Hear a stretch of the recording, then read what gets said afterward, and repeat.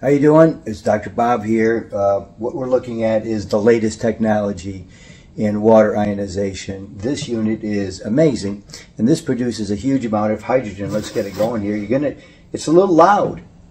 I'll admit it right up front. It's a little loud, but um, for this kind of water, you really aren't too worried about it. To be honest with you, your pH is going to be about nine and a half to ten, and again, it's a little loud, but you're producing this water that is going to be absolutely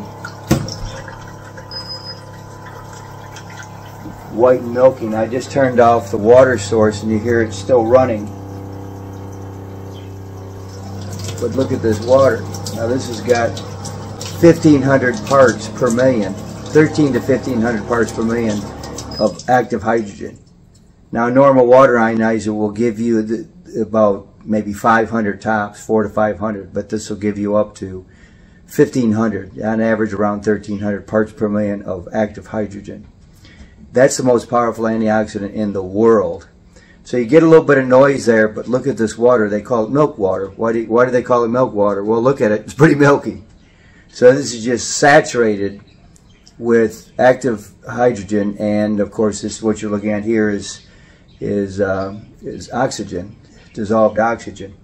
So this is pretty amazing. If you look here, it's beginning to kind of get them more clear and the bubbles are going away. So you get a little bit of noise with this thing, but it's well worth it in my opinion. This is just the one I've had at home. I've had it for several months now, and uh, it's just an amazing unit.